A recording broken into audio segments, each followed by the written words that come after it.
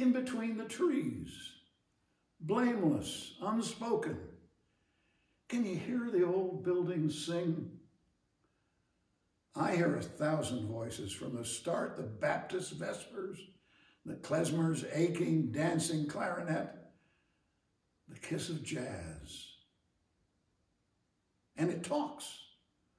The wild strum of Shakespeare and the soft teaching voice of poetry. Poems and plays have marched and danced and whispered on the old brave stage.